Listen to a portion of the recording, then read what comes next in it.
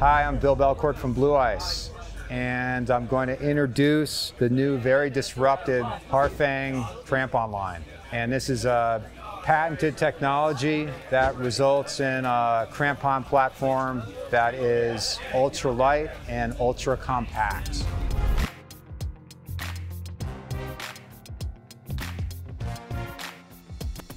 Crampon is in three sections in some of the models, allowing you to fold it up into a very small package. The crampons fit in this pouch, and the pouch has a belt loop. You can uh, carry it on the waist belt of your pack or your harness for super easy access to your crampons when you're on the move. Starting with the original Harfang, and this is intended for ski alpinism most of all. So it has a steel front, an aluminum middle section, and an aluminum back. The heel lever is micro adjust and an injection molded glass filled nylon. Also, all crampons come with a toe basket, so you can switch between a boot with a toe welt and a boot with no toe welt. Next after the Harfang is the Harfang Tour, all aluminum, three pieces as well, ultra lightweight, Again, comes with a toe basket and a toe bail. Next up, Harfang Enduro. This is all steel, more of a glacier travel crampon, very durable. Also three sections for the compactness, the lightweight, and to position some points under the middle of your foot, especially important if you have bigger boots. This three-piece design gives you great sole coverage. Moving up into the more technical category, we have the Harfang Alpine. This is a two-piece design. We've grown the front half of the crampon in order to give you more point coverage in the ball of your foot, and that's going to be better for more technical terrain, steeper climbing, steeper descents. The Harfang Alpine has a steel heel piece, the same micro adjust out of the glass filled nylon as the rest of the line, and still pretty compact even though it's only two pieces. For a lighter weight alternative, this is the Harfang Alpine Hybrid. So we've got an aluminum heel on this model. It saves you about 100 grams. Still comes with a toe bail and a toe basket like all the other models. There are more models to come, but right now we're just up to five. But it's the lightest weight, most compact crampon platform out there. Once you buy into this platform, a lot of these parts are swappable. In fact, they're all swappable. If you're really going to carry the least amount of weight for any objective, you have to be able to fine tune your kit in order to have the least amount of weight. If you've got too many, we would say, really all around components in your kit, you're carrying too much weight. So there's a lot of resolution in this line in order for you to carry the least amount of weight. And since it is a platform, you can mix and match parts over the crampons that you have in order to get the most optimized crampon for the mission that you're on.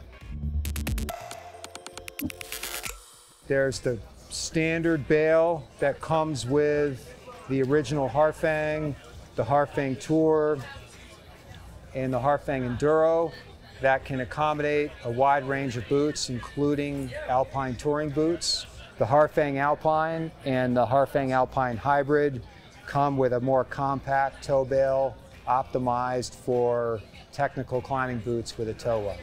If I have a boot with no toe welt, since these come with the crampons, all of them, I'm just gonna pop these on for that weltless boot. For the original Harfang, if I was ski mountaineering in the Alps where I knew there was gonna be icy sections, I might wanna down climb and not ski, or there were icy sections I needed to traverse, I would be far more comfortable with a set of steel front points. Anytime I was on my front points, I would want them to be steel. So steel is going to give you that extra level of security. Aluminum, while giving you some traction in firm snow, is not going to really give you great traction on ice. If you're on steep icy terrain, you go with the steel. So ski mountaineering, some icy down climbing or traversing, I would take the original Harfang. Ski touring, the Haute route or uh, volcano skiing in the Northwest when you're tromping up frozen neve in the morning. If I'm in the bugaboos rock climbing and I'm doing some approaches and again it's frozen snow, even if there's steep frozen snow, an all aluminum crampon is going to um, give you everything that you need. So ski touring, which is different than ski mountaineering, ski touring crampon. Harfang Enduro, all steel. This would be climbing Mount Rainier, where there's going to be some icy sections. There's also going to be some snow. There might be some tromping through some talus between patches of snow. I want some durability, some longevity, maybe a guide service. And you're going to wear out aluminum really fast in the talus. If I want some uh, durability and I'm willing to sacrifice a little weight, I would go Harfang Enduro. I could still front point confidently with these. Again, sort of mountaineering crampon, I would call it. Good, solid all-arounder. Now we're getting up into the Harfang Alpine. And with an all steel crampon like this, I'd go ice climbing with this. I have gone ice climbing with these. I would say hard alpine, you know, grade six ice, uh, alpine mix climbing, any place where you would want a dual horizontally oriented front point in the alpine. I would pretty much take these on almost anything except hard mix roots and really hard water ice roots. you know, a good solid choice for an alpine technical crampon. And then the hybrid, again, it's like, where can I save weight? And aluminum heels, it's 100 grams, it's a good place to save weight. As long as I'm not doing icy descents where I really want that heel piece to bite into ice, I'd be willing to take an aluminum heel. If there's any question about an icy descent where I'm facing out, and needing that heel to really bite, I take steel. Just because uh, aluminum on ice will be unpredictable and certainly not as confidence inspiring as steel. So you will lose time with your tentativeness descending with an aluminum heel on icy terrain, then any weight savings will benefit you. So when in doubt, take the steel, it'll give you a lot more confidence. This crampon, while called the Harfang, I wanted to call it the MCC, which is Manu's Crazy Crampon, because Manu, who was the inspirational force at Grivel for many years and is now an inspirational force at Blue Ice, this is his creation. How much rigidity a crampon can add to a boot, it depends on the crampon design and it also depends on the boot that it's on. You know, back in the old days when everybody climbed on Galibier Super Guides, they were all leather boots. Um, and once the steel shank broke, which didn't take very long, the boot was quite flexible, kind of a lot like modern mountaineering boots. And so then, if a crampon was rigid, it had to be up to the task of supporting all of the weight of the climber because the boot was not going to do it. And um, lightweight crampon designs of that era often broke, and this was from all brands, over time because of metal fatigue, because the boot was not supporting the, um, the weight of the climber on its front points, the crampon was. And the crampons back then were pretty lightweight, they were like two pounds. Um, but because of the breakage of the crampon rails, the foot fang was invented. If you remember that, it was a three and a half pound beast from Lowe Alpine Systems. All the rails were vertically oriented and it was indestructible. You could put it on any boot, soft or rigid, um, and it would last forever. And you can still buy them in consignment to this day because of their longevity.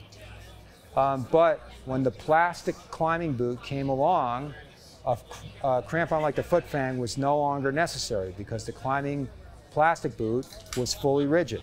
And so crampon designs got light again.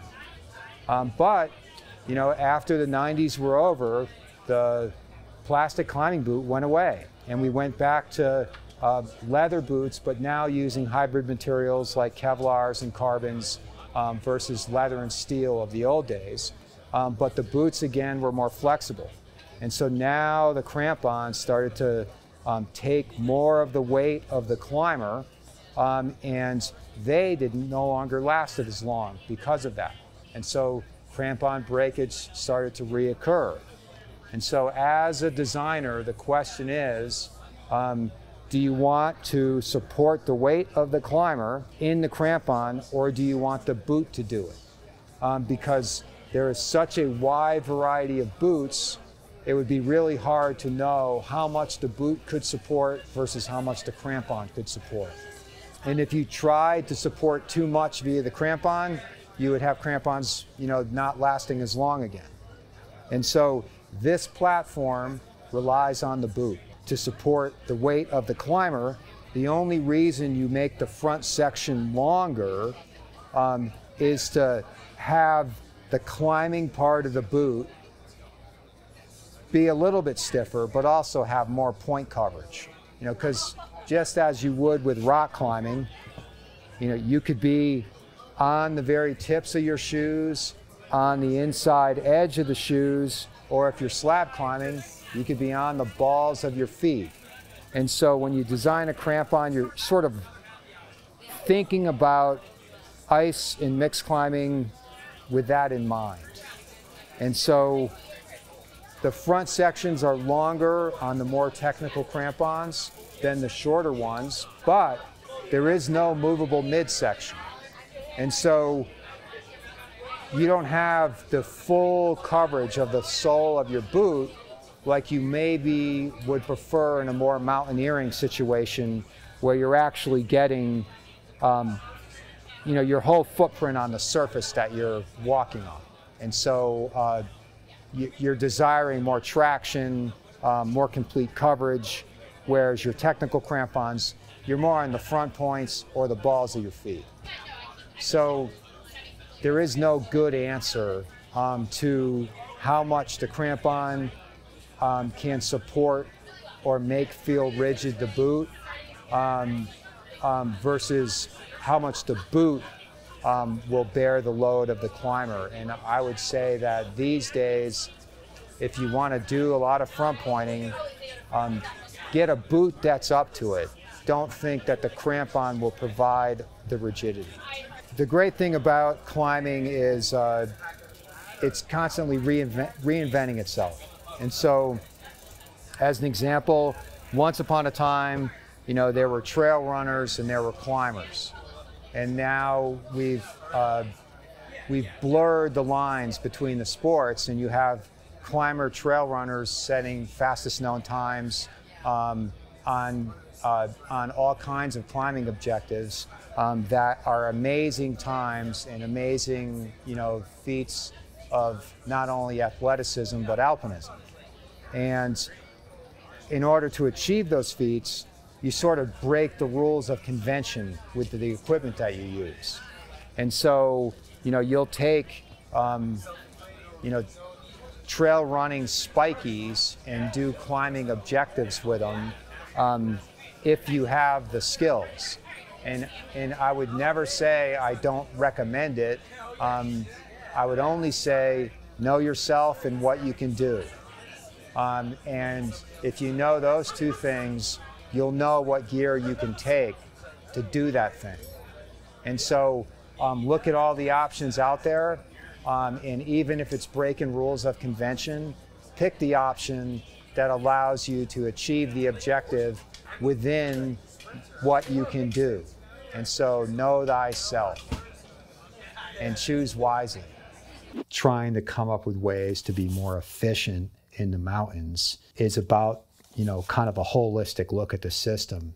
And we've solved a lot of pieces of it, but Manu's new design here for the Harfang is yet another piece solved. You know, this is also the reason we made the Reach packs, which you take running pack features and you put them on a climbing pack, but you also make them secure so the pockets close completely for vertical environments. Because I wanted a pack where I could drink without taking off the pack, because that's why everybody uses like a CamelBak type system, but also eat without taking off the pack, because if you're climbing fast, you're always on the move. So now we've solved the problem where you can drink while on the move, but now you just don't eat because that would mean stopping and taking the pack off. So now um, you can eat while on the move.